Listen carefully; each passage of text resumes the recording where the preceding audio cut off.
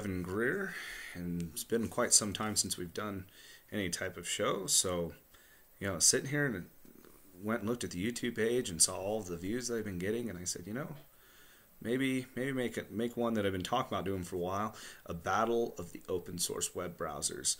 Now I know you guys are sitting there probably looking, going, oh, Devon, the one you got in the background here, it's not it's not open source, and I'll cover in a minute why Vivaldi's on the screen.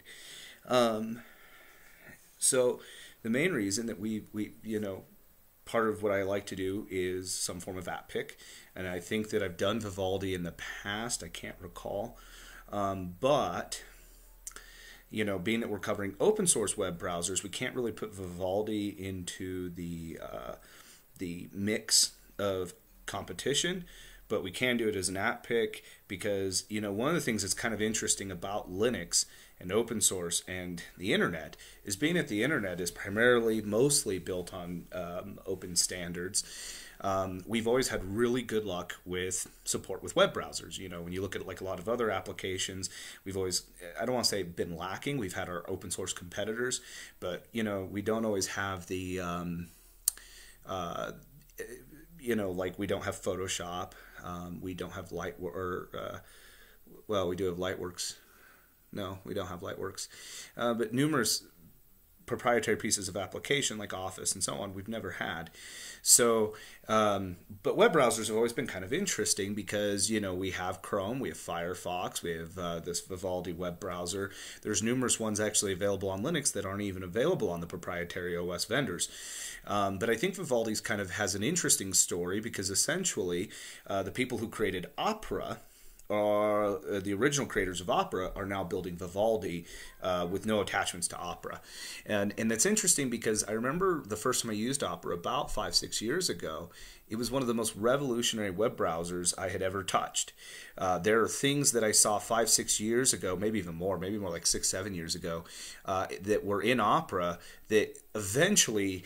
Uh, Firefox and Chrome started using, and I was like, oh, come on. I mean, that that's straight from Opera.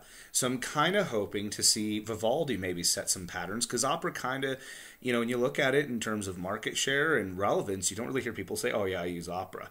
Um, you hear a lot of people say, yeah, I've used Opera at one time and it was great. And then all of a sudden, next thing you know, they're, well, I use Firefox, I use. Um, uh, Chrome, or I'm sure even by at, at this point in 2015, if you're a Windows user, you you're probably more likely going to find Microsoft Edge users than you will over Opera. So um, now, from what I do know, Vivaldi is a proprietary web browser platform. Um, I definitely recommend go to the, to the website and kind of check out their uh, video that they have here. Um, what's interesting is they're trying to build a web browser that is for the powerhouse web browser user. They kind of go into the video and they talk about how today's web browsers have been simplified, but just like anything, when you simplify something, um, the amount of tools that you have to your availability are pretty minimal.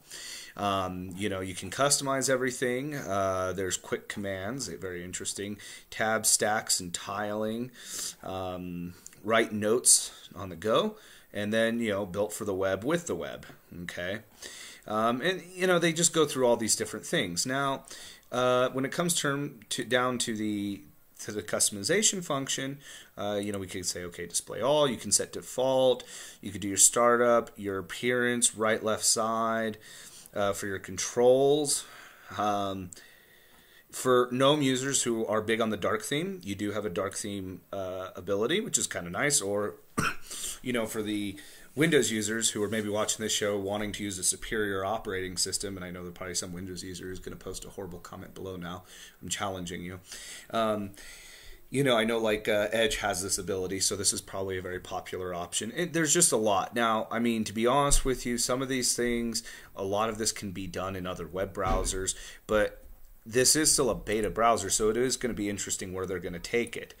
Um, something I did find interesting is there's a lot of stuff that you can build in here, but a lot of it isn't ready yet. Now, what is interesting, if I have reviewed this before, because I have been following Vivaldi for about a year now, maybe more or less um, a lot of this stuff has been marked coming soon for some time. And so I kind of sit back and I kind of go, okay, you guys want to keep my interest. I need to actually start seeing more active development. Okay. Um, it looks like they are actively working on it. I'm just not seeing functions come. Um, and then the other question I have is I'm curious how this is going to work. I really don't want to, you know, I don't know how I feel about attaching more of my accounts to something or creating new accounts for something. This is going to be interesting. Now, the other thing I am very curious for, and I don't know if I found a good answer yet, being proprietary, the question is always, you have to pay developers because you don't have people willing to work on this at no cost, minimal cost, or some form of other payment method you want people who want a physical cash revenue. So I haven't seen yet with Vivaldi what is their business method. If they're going to try and do what Opera was doing, and then if if for those of you old enough to remember Netscape, um, and try and sell a enterprise level web browser to companies, um, I'm probably betting this is not going to be a long term web browsers. That's why you don't see many paid for web browsers these days. Now, in terms of how it did, uh, 521 out of 555 points. That's pretty respectable. And the flash benchmark was actually the most interesting. And at the end of the video, we'll come back and explain why the flash benchmark was like the most interesting out of all of them. Okay. So to move on, we're actually going to go with seniority. And I know some of you are like, ah, we're going Chrome. Well, can't do Chrome because it's proprietary, but we can look at Chromium. Okay. Now, Chromium, in my opinion, doesn't have seniority in terms of market share because I do think Chrome and Chromium market share are two different things. But the other thing is, let's go with the oldest web browser, and that is Firefox.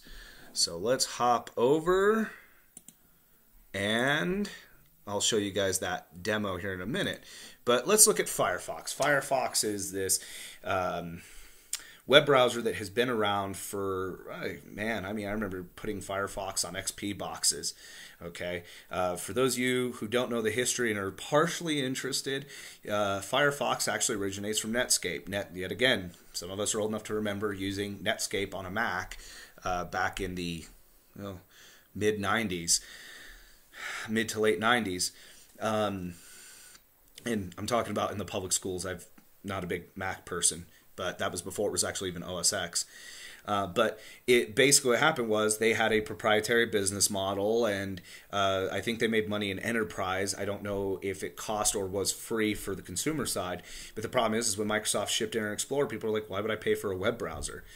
But in order to stop Microsoft from having complete control over the uh, the web, um, Netscape, before they took their final breath and died, released their source code and created the Mozilla Foundation. And to this day, uh, from what I've read, uh, Firefox has never had a dominant market share. But they do still have a large enough market share where it is considered a relevant web browser. Okay. Um, you know, you can come in and look at the history of the forums, the governance. They are 100% open source. Uh, I think this is the About page. Um, you know, Firefox, the other nice thing is, you know, you can put it on your Android, or I believe they also, yep, iOS. Um, and then that way, when you bookmark something on your desktop, and then like later you're talking to someone, you can open up your Firefox on your phone and do it. Uh, we're not going to go over the phones OSs today, um, but uh, you know I will kind of throw a quick out there. Uh, I love Firefox on my phone, but in terms of rendering pages, Chrome has had it beat for some time. Um, the one huge aspect that I love about Firefox is the customized function, and you kind of get that that Vivaldi aspect. Um, I'm assuming you can get additional tools and features. I will be straight with you guys. I'm one of those that's a very simple web browser user. user. Um, but you know, you can come in. An example being, I this is what I like to have as my primary search bar. So I don't believe I need a search function that's very old and archaic in my eyes. Um, I do like to see oftenly uh, the sync which is nice because if I save something and you're like me and you're always you, you kind of trust cloud but not 100%, it's nice to see that thing start spinning and you know okay, I've got that done. Um, the other nice function that Firefox has highly worked on over the years is their their their cloud service. Um, you know, back in the day, I remember like Firefox, not back in the day, like two years ago, Firefox had this horrible sync function. It was just constantly painful. And if you needed to pull data from one machine over to another, it could be done, but you had to use like these keys. And I mean, to be honest with you, it was probably the most secure method possible. But I think what Firefox found was end users don't care really much about security. They should, but you can't force them to. If you make something too hard, they'll go elsewhere. So they went to more of a Chrome style, uh, and you can quickly create an account, or if you already have one, you can go here. One complaint I really have is I understand why they take you to the create your account first deal, but now I have one more click to do. You know what? Set it up where I log in and then at the bottom somewhere down here put in create account. People are typically used to that standard. Okay. Uh, the the flash benchmark. Now, um, the flash benchmark. Uh, Firefox did really well. Now, the thing about Firefox is it uses uh, it, it, does have Adobe Flash if you pull the package down for us Arch users. Ubuntu, if you opt to install the third-party proprietary packages in the installation, uh, you have Flash by default. Um, it's using Flash 11.2 or 11.4. I can't remember the package number. It's a very old version of Flash. Now, that doesn't mean it's not secure. I mean, Flash is not secure by design, but um, it is actively receiving security patches until 2017, which I think that is kind of Adobe's way of saying we're predicting to be long gone and dead by that point. Uh, not Adobe as a company, but the Flash product. I mean, over this last year, YouTube has gone to a complete HTML5, um, and many other tools. Like another one that I always use is uh, SpeedTest.net. They have recently gone to a full HTML. So um, I, I really think that it's just a matter of time. So, but for those who have a website who still heavily rely uh, relies on Adobe Flash, and I am one of them, my uh, student college portal, uh, many things are rendered in Flash, so I kind of need it um, in order to go to college. So, but it does work here. Um, you know, you're able to go in and you're able to put in a menu bar if you're old fashioned, uh, bookmark toolbar and uh, then you're able to build out a bunch of bookmarks into here. Um, you've got your, you know, your traditional things. Some people have kind of pointed out how uh, Firefox has gone to these like curved uh, tabs, and it's very Chrome of them. But I still say that there's a lot of customization and a lot of modernness to the the, the thing of fire to what Firefox is. Uh, that quite frankly, if I'm going to depict it as a Chrome clone by just putting curved tabs, it's pretty a pretty shallow view. Um, Firefox has undergone some huge changes over the last year. So, a big one that is coming is uh, add-ons. Well, they are um, slowly moving to extensions. Now, I don't know how that's going to work for them. I don't know if they're making it easy uh, to port. I'm not a developer, but something made them say, we're done with add-ons. We're going to move to an extension model, just like what Google Chrome's using. Um, there has been many other under the hood things that they have changed. So, example being Firefox. When you used to open up Firefox and say have ten tabs open, all those tabs used to run under one process. Okay, um, it was really good for resource management. You didn't have a browser consuming a ton of resources. The problem was is if a tab crashed, so did the browser.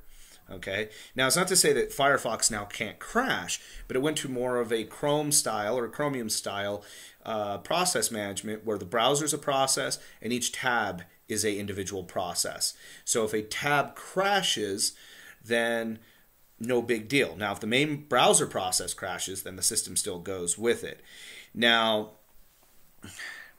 the other aspect to that is there's a performance kernels, whether it's Windows, Linux, uh, BSD, Unix, it doesn't matter. If you have a browser taking on too many resources, the kernel is designed to question any application that's receiving too many and too much in resources. So yet again, using a multi-process for the tabs is a better method because then the kernel doesn't get so upset. That was a big complaint with performance on the older versions of Firefox that has been fixed over the last say 12 to 24 months. Is the performance on Firefox is almost on par with um, Chrome or Chromium in our case that we'll be looking at today. Um, the other nice thing is the themes. I will definitely say that Firefox, and it may be just because it's been around longer, has a lot more themes, or it's easier for me to search for themes that I enjoy using than uh, Chromium or Chrome. So that's been definitely um, something I really enjoy about the browser. And you know, one time Firefox was the dominant browser in open source browsing, and we had a plethora of browsers that were just um, spin-offs of Firefox. Today, the only one I actually still hear about is Pale Moon. Um, primarily among the Windows community, I know that Pale Moon uh, recently had in the last year done a port to Linux. Um, and I don't know, Pale Moon's kind of weird. Like feels like Firefox, looks like Firefox, but doesn't update the same as Firefox. So um, the the last thing that you know we'd really like to go into is like the preferences. The thing that uh, I think where Firefox puts the the icing on the cake overall, best out of everything, right, is that Firefox has uh, the cleanest option menu of like all time. I can easily go through these settings and quickly move around. Ah, I'm glad I came to this page. One thing I will point out that I've not been happy with um, with Mozilla is picking the Yahoo search engine. I get why they did it. Google was getting a clear monopoly on the search place. But, you know, quite frankly, end users don't care. I mean, honestly, I would have rather have seen them pick DuckDuckGo, who probably just didn't have the money that they were wanting uh, for a default search engine, or I would have even if it would have been a little less for them to go with Bing to me, that is light years better than picking Yahoo because I almost never get a relevant search on Yahoo. I have gotten relevant searches on Bing, and even DuckDuckGo, I get really nice searches. So personally, yes, I can change it, but I wouldn't have picked Yahoo, even if they offered three times the amount of money. You, you just you got to have standards here at some point, right? Uh, you know, you can go into the privacy, you can go into the security and the sync and the advanced, and come in and I, I mean, there's a lot in which you can do here, and there are functions of uh, Firefox that I have used. Uh, example being pairing, uh, doing certain functions with PuTTY that I think maybe Chromium could do, but I've always just found the the, the instructions uh, through Firefox. Um, the the other huge component is um, they do have um, pretty much they cover all the, the, the main audio video codecs. They have um, a PDF viewer. Um, and then one thing that I wanted to show real quick because I thought it was kind of cool. It's been out for a few years, but I noticed there's not a lot of talk about it. It's probably because it never went past demo. Um, was something called Banana Bread. Uh, so banana the Banana Bread project was basically showing that you can create gorgeous interactive games using HTML5 back when everyone was still doing it with Flash. Okay, so what I'll do is I'll say, okay, I want to quit. Um, real quick, I don't really care for showing and demoing games, but this was something that was kind of uh, cool. And like I said, I think I remember hearing about this like two years ago. And as you guys can tell, for an HTML5 game, this is gorgeous. In fact, I this is almost um, like Unity uh, 3D engine gorgeous. I've never even seen anything this beautiful in Flash, and allegedly this game is fully built. The game is fully built um,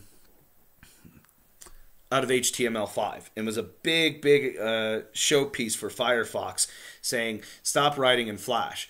Well, I don't think this helped the death of Flash. I think Flash just sucking as a product helped the death of Flash. So, next we're going to look at Chromium. So let's find it. Let's find it. So Chromium is the open source version of Google Chrome. Now, when Chromium first came about, it was a very rough start, I think. Um, you were using the Mozilla Flash plugin. You're using a ton of Netscape plugins. It did not have a PDF viewer. It was just a horrible, horrible experience. The only reason you used Chromium was it was lightweight, it was fast, and it seamlessly attached to your Google account. Okay. Now, a lot has changed since then. You now can use the Pepper Flash plugin. It does not come in Chromium by default. You have to go through your repositories. Um, Ubuntu, it's a simple find the plugin, put a check mark in the box, and hit install in the App Center. Uh, in Arch, just find the AUR package and install, and it seamlessly integrates into it. Um, the and I know some of you are like, well, it, oh man, at that point, why don't I just use Google Chrome? Well, if you've been following over the last several months, there was an article posted about um, Google and being able to do that Hey Google function um, to your laptop when you were on the Google page. And it would be able to listen and do all that stuff. Well, one of the Chromium developers discovered that it was either very exploitable via uh, malicious code, or that Google at any given point was able to listen into a room conversation at any point.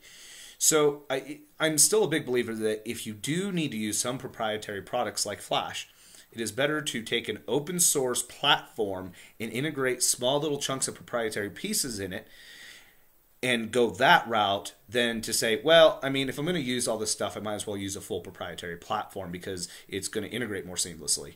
Not necessarily the truth. Um, and I think part of the reason that Pepper became such a big component of Chromium is in the event that Flash doesn't die by 2017 and there's a Linux user that's going to heavily need Flash, it's nice to at least have a web browser that we can still recommend. Now, if we go to the HTML5 test, 521. Now, if I go back and look at Firefox, 466. now, I have ran these tests several times, um, and the numbers are generally consistent.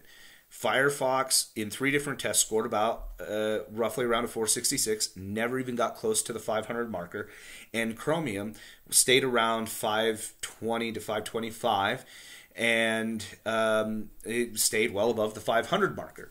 So this is just to see how well does uh, Chromium handle HTML5 code.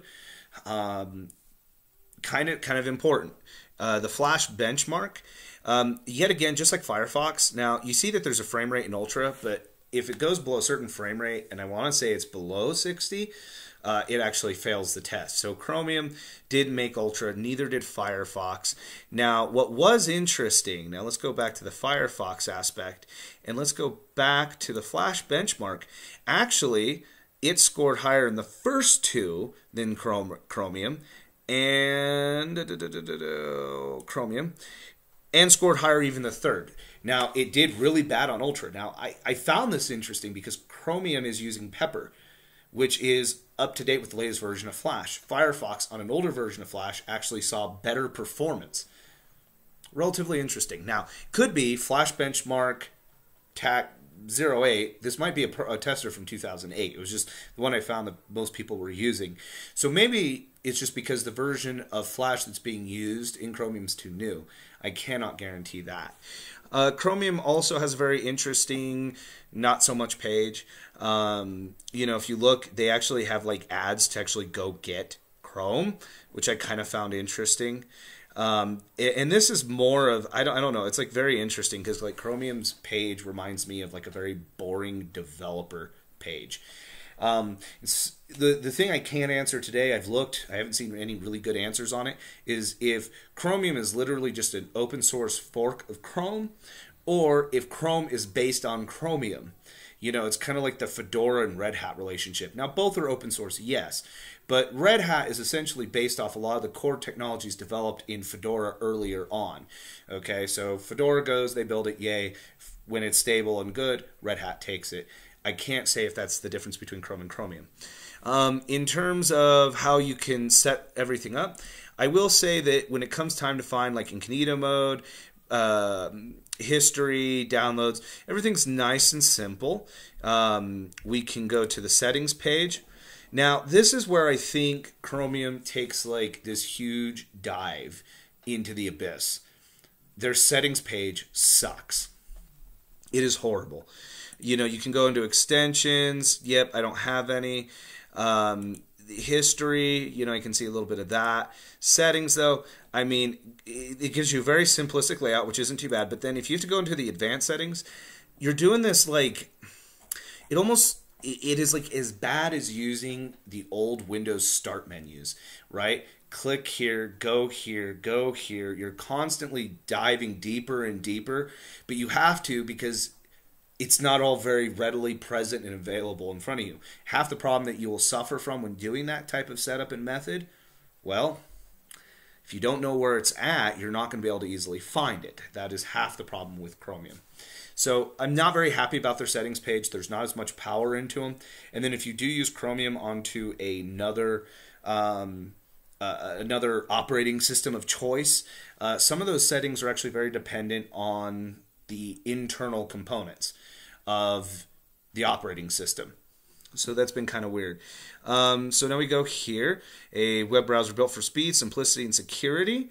Now, uh, Chromium is made possible by the Chromium open source project and other open source software. Now, what I do find interesting is if you actually open up Google Chrome, it still says uh, they give somewhere in there a thanks to the Chromium developers and projects. So I thought that was definitely really good. Um, I know we're not covering Chrome, but interesting enough that you would think that you would come in here and all the verbiage would say say the same, except where it says Chromium, it would say Chrome, and then where it says uh, open Chromium open source project, it would say Google. No, in actual Chrome, at least last time I looked, in the last six months, it did also give a shout out to our open source developers over here at Chromium. Um, the other the other thing that I've, I've, I've kind of got to give to Firefox over Chromium is that you know like I like I think I've mentioned in the past I uh, work in an IT department. Um, it's a relatively decent infrastructure, but it is a Windows house. Uh, we are in the future looking at changing that. However, in the meantime, we have things like SharePoint, which uh, if you hear the word SharePoint, you're not familiar with SharePoint, decide to go look it up. Don't. It's it's a horrible product. But anyway, things like like Firefox, for example, integrates nicely into the Microsoft services. Now you may sit down and go, whoa, whoa, you're diving back into that proprietary. But you know what's nice about when you have a web browser that's multi-platform and you like that web browser and you use that web browser, um, it's nice to be able to go onto another platform and not have to use something like Internet Explorer. You could use Firefox and it integrates with all the functions of SharePoint and many of the other Microsoft products. Chromium and Chrome in itself does not. Um, so if you are in a house with a mixed environment or you work in a company with a mixed environment and they let you use whatever web browser you choose, that is something you will come across with Chromium is it doesn't tie in very well with other products. Um, the other area though, and let's see, because normally, maybe if I just go to Google. And I don't know if it's going to make me have to sign in to be able to show it. If it does, that's going to be really sad because I don't want to show my email on here. Mm, I bet I can get there from here.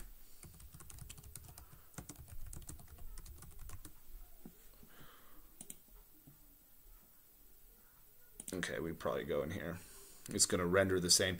Chromium, and I don't know if it's the same website just based on what web browser hits it if it changes. Um, when you're signed in under Chromium, just like on Chrome, you have full access to their app store. Okay, and instead of saying Chrome Web Store, it would say Chromium Web Store. Um, I don't use it very often, but this is the bread and butter of Chromium if you are a huge web app person, you get on your PC, you open a browser, and this is what you do, then this is where Firefox is really beat. They don't have a great place to go find uh, Firefox apps. I know that on the phones there is the marketplace, and I think if you sign in, there is a marketplace for Firefox, but it is nowhere near the level of what Chrome has done here. It's very simplistic. You have apps, you have games, okay. Um, now we're going to go over a downside of this app store. So before you see games like Soldiers Inc. AVP and that it possibly may have amazing graphics, we'll go over a problem here. Um, extensions, so you can come in and get all sorts of extensions. And like I said, I mean, even Firefox is moving to an extension-based system. Um, so, I mean, essentially, this is the way where everything is definitely going. Um, and then the themes, uh, the themes have definitely gotten a lot better. And um, I believe you can search for themes. But like I said, the themes Red, Red Fox Snow theme. Uh, I'm not going to point out how ironic that would be as a Chromium user, right? But anyway, um, the themes in uh, Chromium are really no different than the ones for Firefox. I just have always had an easier time finding themes that I actually like in Firefox. So that's definitely a thing. Now, let's go back to the downside to the store games. One of the problems is with how these games are oftenly built uh, with Chromium is a lot of times they require under the certain underpins in the operating system to be present. Uh, and so you run into this issue where you see a game where the graphics are kind of like that Banana Project one that I showed you, right? The Banana Bread Project. But they require there's some proprietary code in there that relies on a Windows backbone to actually operate. Um, so that's that's the only thing you will oftenly find is you will find really good games in here don't run under Linux. Now, I mean, someone could say, well, that's just Linux, period, you know, but, and, you know, if you don't play games, then you're like, yeah, who cares? But for someone who's, you know, you get those people with all the freemium games on their Android and iOS devices that are sitting here going, I could do this in my browser on a nice big, you know, uh, 13, 14, 15, 17 inch display. Yes, yes, you could, but you will, I, in my experience of going through, now, if you don't mind, like the old Nintendo, Super Nintendo style games, uh, Game Boy style games. There's a lot in here for you. There's a lot of RTS, so there is that. Um, overall, the store is quite excellent. I've gone through. I found very um, excellent uh, web applications in here. Um, the only reason why I don't explore the store very often is I still feel the physical installed application is king every time. You know you're always limited with the web applications on how much of a file you can upload and oh now you need a premium account. Well let's set you up with a monthly reoccurring fee. So i mean i see chrome's great chromium's great you know endeavor into this direction with google and and it's great but it's still i'm sorry if you're you're on the pc end of things just install a piece of software either open source or if the open source tool doesn't work and you do have to use some proprietary paid software most of us, I think, would rather pay one to two hundred dollars for a piece of software than to turn around and simply pay a reoccurring nine ninety nine a month. I could be wrong there, especially if it's a software you use a lot. You know, maybe once or twice, yeah, I could see paying nine ninety nine. But if it's something I'm going to be living off of or in quite a bit, then I'm typically going to opt for, um, you know, a paid program if there's nothing open source available to me. Okay. Um, now we're going to shoot over to the Wonders of Midori, which I believe, and I could be wrong, is this one. Yes. So, right off the bat, well, we'll get back to that score, I guess. Um, anyway, Midori is a lightweight and fast and free web browser and was actually one of the, the first videos I ever covered was reviewing Midori because I remember the first time I'd used Midori, I was like, oh my god this browser is simple, which is something I care don't really, you know, I don't care if it's a complex web browser. I use a web browser to view a web page. As long as it can do bookmarks and tabs, I'm happy. Um, it, it, was so fast. It was by far the fastest web browser I had ever used. I actually didn't realize. I mean, I knew there was a little bit of lag difference between, say, Firefox and Chromium, but I didn't realize how fast a web browser could speed up your experience. Um, so, you know, built with HTML5 and CSS, WebKit, open source, small and mighty, uh, simply beautiful. Um, and I believe that the elementary, elementary OS team uh, builds, develops, and maintains uh, Midori. If they don't, I do know, uh, and I can't remember his name. There's one of their developers who, if you go look at who's involved with Midori, he's one of the prime guys for it. Um, and I get it. You know, for some people, they don't need this huge web browser, right? And then all about privacy and available almost everywhere. Okay, and they are right on that. I don't think they ever got around to porting to Windows. Um, but elementary, Ubuntu, Fedora, Debian, Mint, Mageia, Arch, SUSE. And you know that's pretty that's a pretty impressive little number because like nine times out of ten, when I go to a website, like a lot of times I won't see them, them distinguish a difference between Ubuntu and Mint. Now, many of you will say, well, there is no difference. You, you install the PPA the same, and or the package pulls down the same and installs the same.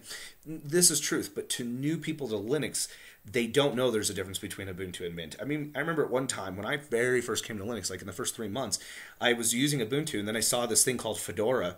I installed it. Well, this was back in GNOME 2 days. I remember sitting there going, I'm so lost because they look the same. I mean, there's differences in like, oh, this has a Fedora logo on it, this has an Ubuntu logo, but they looked completely identical. Um, it wasn't until later I understood. Well, they have different package managers. There, they they have um, maybe you know different Linux kernel versions. They are maintained by two separate entities. All these different things. I didn't know this back then. So for new people to Linux, it's kind of nice that they did distinguish into this end. Um, and then if there is anything that uh, syntax differences that I need to know about, it'll probably be present there. Um, and then features, we'll go over those here in a second. The biggest thing I love about this browser is its simplicity. I mean, look at it's clean. It is so clean. A lot of the other, you know, Chromium uh, is clean, but this looks even cleaner. And if you actually look at it, it looks like it works with my GNOME 2 desktop. Now that or GNOME 3 desktop. Now that shouldn't be very surprising, being that Pantheon is a fork of GNOME. And there's some people I've heard argue, oh, no, it's not. No, it very much is. Uh, otherwise, why did the Elementary OS developers post ton of blog stuff about them going to GNOME conferences?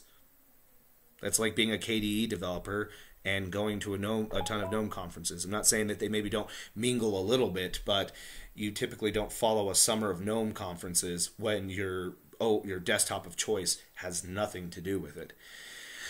Um, HTML5 test. Midori scored. I mean, we don't. We could pull up all the different numbers and see who how close something got, but Midori actually scored the worst out of all of them. And if you actually go look at the, I think I have it pulled here, the wiki. One of the things that you'll notice, because it goes in, Midori did pass the ACID 3 test, but if you notice, it has been steadily declining. Looks like it did a little better here than when they tested uh, in July. Okay, but you can see that it's been on the decline. Now, that's kind of not good. Uh, you're an open source web browser, and I mean like you t- preach privacy, you preach your your your love for open source and all this stuff.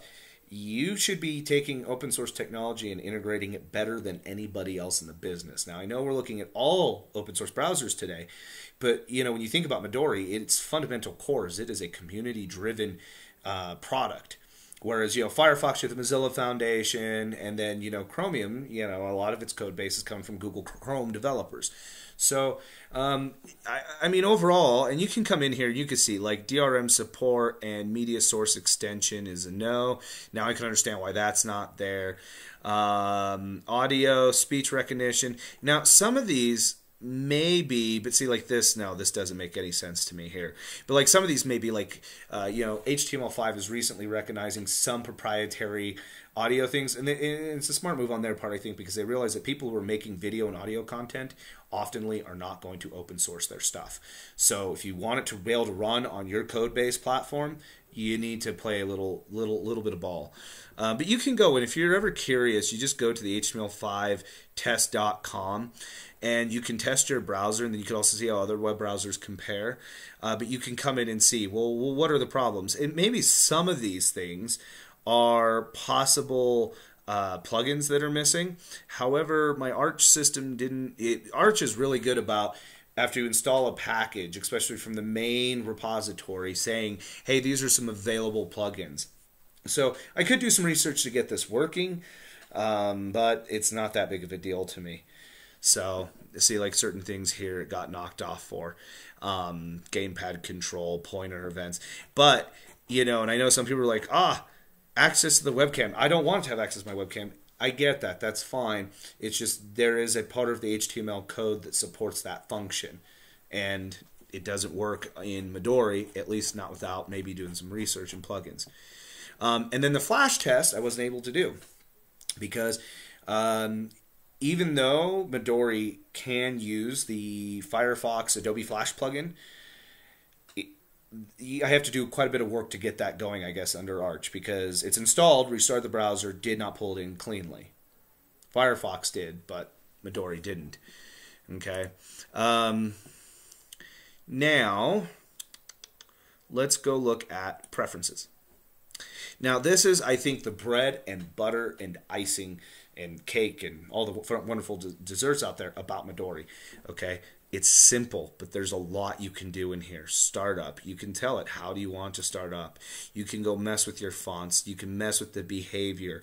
Example being, I enabled spell check spell checking and enabled WebGL support.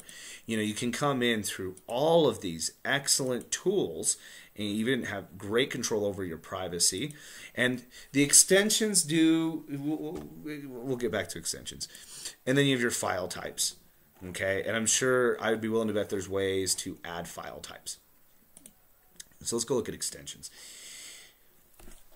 The extensions you can kind of you, you have a lot there. I have I've there's I think none enabled by default, and I've gone in and I've done like advertiser blocker 2.0, and I remember an advertiser blocker was only 1.0. Um, GNOME Shell integration, Java plugin, um, mouse gestures. Um, let's see, was that it? Oh, web media now playing. Okay, So anyway, there are all these plugins. I know they're actively being worked on because there are plugins that used to be here that are no longer here, and there's plugins here that I don't remember from the past. So the plugins are very there. The only problem is don't know how developers go about getting additional plugins put in, uh, or if the Midori project is trying to keep plugins on a very tight lockdown. Which I get it because you say simple, light, fast weight web browser. However, you put too many plugins into the mix, and then people start saying your browser is slow and sluggish. Well, it's not really your fault. It's the people who put the, you know, 1,800 plugins onto their machine. So they may want some control for those reasons. The other thing I found interesting was the DuckDuck uh, Go search engine. So, um, like I said, pretty fast, right? Um, it, it, it, like I said, results for Linux. Whoops. Um, DuckDuckGo, in my opinion, is very relative is very relevant. I mean, honestly, I would say DuckDuckGo falls somewhere in between Google and Bing in terms of relevant searches.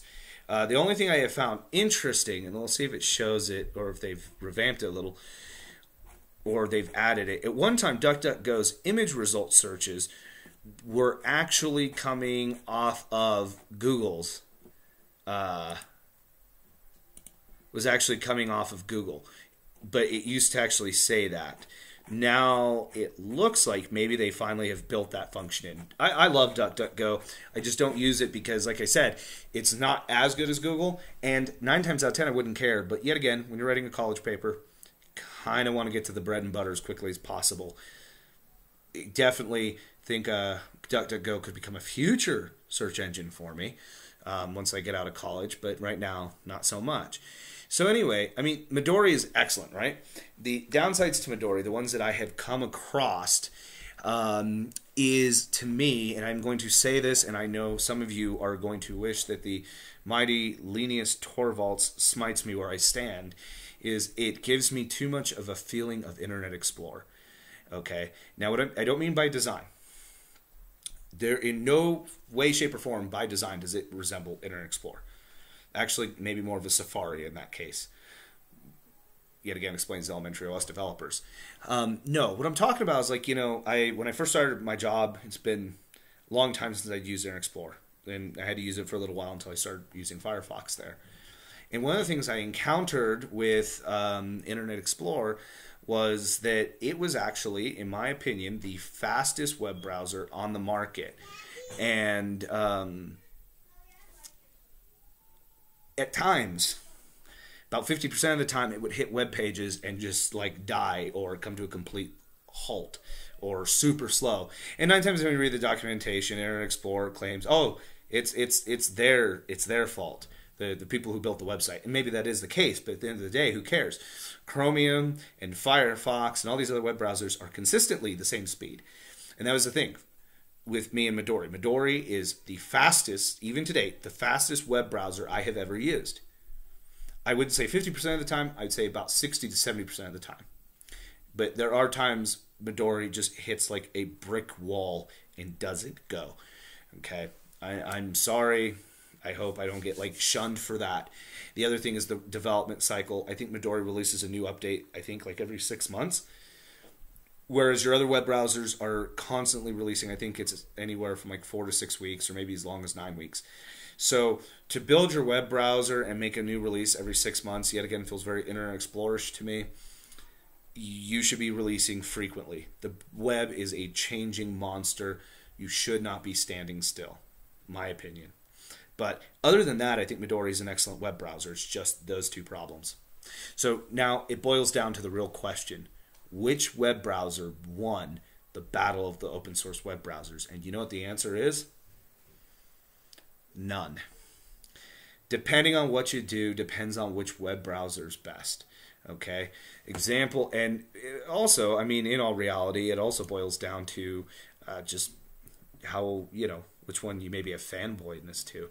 Uh, Firefox is really the best for, I think, the powerhouse user and for the person who is actually having to work inside some Microsoft products. It integrates very nicely with those. Has tons of customization features. and is uh, like I said, they're changing. They're they're evolving finally. Downside is you're stuck with older technologies in some areas, like Adobe Flash. Firefox would rather take the time to develop a mobile web OS for phone than possibly find a way to build a plugin that would support Flash Play. Right? I mean, that's just how it is. It's kind of sad. Now, one would argue, well, Flash is on its way out. Well, allegedly, I mean, every two to three years, I hear someone predict a new day of death for Flash. Uh, you know, it was supposed to die in 2013, 2014, 2015. And here we are, and there's still sites using it. Um, but, you know, Firefox is good till 2017 at least on the Linux systems. On the Windows system, it doesn't matter. Uh, though I will point out one thing I will will really point out is you know like when I'm setting up an end user. And I know they're never going to keep things up to date. And one of their virus infections could be coming in through an out of date Flash plugin. A lot of times, that's why people are going to push and getting pushed onto Chrome by IT folk, is because it self maintains at least some everything that ties into it. Um, Chrome, or in this case, Chromium. Chromium is has much better HTML support. Uh, eh, did about the same on Flash with much newer version of the plugin, but it does have more simplistic UI, a, a, steady use of UI. And at the end of the day, a lot of things that Firefox is changing to, Chromium has Chromium has been using for some time. So Chromium, in its own sense, is a little has been a little more cutting edge than Firefox. And at the end of the day, if you have a huge tie into your Google services, but you don't want to use that proprietary Chrome web browser because you're like me and you feel like, well, Chromium has, you know, some some auditing happening at some level. Okay, um, Chromium is the best browser for you. And then Midori, you know, at the end of the day, if you want a super fast web browser, and maybe most of the websites you hit, you don't hit those speed slowdowns, and you want one that respects your privacy. You know, one thing I didn't point out was to import and export bookmarks. Now, you can do that in Firefox. You can do that in uh, Chromium. Well, I'm sure you can do it in Chromium. I've never tried it. But, I mean, this is kind of cool, right? Say you have an OwnCloud setup or a Seafile server setup and you have all your bookmarks and every so often you'll export a new file into your server into your into your home local storage. And the point is, it's right there in the open. Like many of your privacy functions are right there. It's fast, it's simplistic, it's private. That is a huge reason to um, use Midori. So at the end of the day, there's no good answer. I, it's like sitting down and saying, well, what's best? Uh, what's better, Ubuntu or Fedora? Well, the last three or four releases of Fedora have been rock solid, um, but what you'll notice is a tendency of system admins will use Fedora, and a lot of people who just want a Linux OS to operate uh, because they want a Windows replacement will use Ubuntu. Is one better than the other? No, I think it depends on what are you doing, what are you expecting, and what are you wanting is an outcome. And that's how the web browsers end up panning out, in my opinion. Um, I've used Firefox. I, I use Firefox. I use Chromium. Uh, I don't use Midori a whole lot just because of, like I said, I'll go to a site and it just like, well, might want to go get a cup of coffee. In this case scenario, Midori, though, for some, is probably the perfect web browser. I know some people who fully work in Midori. It's an excellent browser. Um, now, let me go back real quick before I kind of finish this up. And I wanted to talk about um, um, that what I found interesting is Vivaldi, I think, and I could be wrong, is using the same Flash plugin as my Firefox. Like I said, I could be wrong. They may be working with Adobe, but I haven't heard anything about Vivaldi doing that. And so, say I take Vivaldi and I move it over, and then I grab my Firefox and I move it over. Um, but what's interesting is the benchmark numbers ma- don't match up. So it's very interesting. I'm not sure if that has something to do with uh, maybe the software does not accurately benchmark. Now, I did run the benchmark two or three times per web browser and got a consistent number every time um, in terms of frame rate and my score and all these good things. Um, but the if you notice, Firefox did much better. So is it a question also does how the web browser handles the Flash plugin? Very interesting, right? So, you know, I really hate putting out a time of when I'll make the next video because I don't guarantee it. I'd love to maybe do it next weekend, but then I get tied up at a job or, um, you know, family event or whatever, especially this time of year. So, you know, what I would like to do is at least say these are the topics that I will cover when I do a video and get those done. I did I've been talking about doing a battle of the web browsers. And here we go. And the answer was no one won. Everyone is awesome as long as it hits your needs and what you're trying to do every day. Um, the next two I would like to go over because one is generating a ton of uh, news across the web is Evolve OS, I think is the name. Um, Evolve OS is uh, this new OS that's Linux, but you know it's not like oh here's one it's based on Ubuntu. No, it is in, it's an independent developed with a custom desktop. Yet again, GNOME three fork. Um, very interesting, and I'm hearing a lot about it, so I'm very curious. And well, and the website, if you want to go look at it pre or play with it pre before we talk, is how awesome is it? Well, it looks pretty awesome. Uh, the next video, uh, whenever I get around to it, I would like to go over virtualization. Do a, uh, you know, GNOME boxes virtu- versus VirtualBox. Uh, there's some disturbing news out there about VirtualBox in the last year, um, but there are some things that when I go into GNOME boxes, I sit down and go, man, I really wish I could bridge this network without having to open up a configuration file. Um, so there is that. And then one of the things I've been really looking into, and obviously it hasn't caught my interest too much because you didn't see it running on my desktop, um, is uh, PC BSD. PC BSD. There, uh, I, have been seeing, you know, I have a, a Flipboard app on my phone, and I have open source and Linux is actually my top two categories that I go into and read. And I've been reading a ton of articles of Linux users switching over to PCBSD or just the BSD distributions, period. Um, PCBSD is probably the easiest one that would be for a Linux user to switch over. Um, many of the syntax are very similar, but in terms of graphical installer and so on, uh, it's a lot it's a lot better on PCBSD. Um, I'm seeing that. I've heard super super uh, positive things about uh, uh, the BSD community and many of the uh, how they do things right. Whereas in Linux, we typically do something wrong and then do it right. And I know some people are like, "Oh, this is going to be a Bash Linux session." No, it's not. The thing that's interesting about BSD is they're a very much smaller community.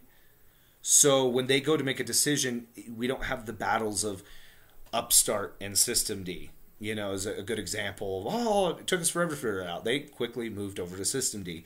Um, sitting down and going, Wayland and Mir and X. Uh, I don't know if they've reached a conclusion on that yet, but I'm sure when that subject matter hits, because of being a small community, hey, let's just go this way. Okay, that makes sense.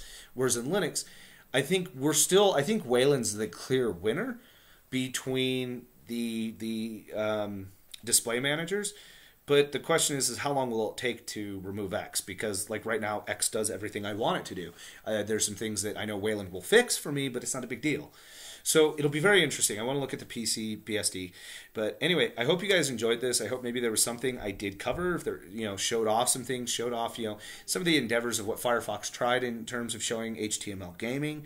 Uh, you know, looking at uh, Chromium, its App Store, and then looking at the simplicity of Midori really helps some people sit down and go, okay, yeah, yeah this web browser is probably best for my needs pointing out some of the things like, well, Firefox got an old Flash player. Chromium, you have an up to date Flash, uh, but some of these Flash testers are showing that Firefox still has a faster Flash uh, playback. Um, you know, Midori, yeah, if you want to use Midori, you got a lot of work to do to get it going, but it's an excellent web browser. And if you're not on Arch Linux, um, when I've used Midori under Ubuntu, it's a pretty, the, the Flash integration is pretty solid. So, but everyone, thank you for watching, and until next time, have a good one. Thank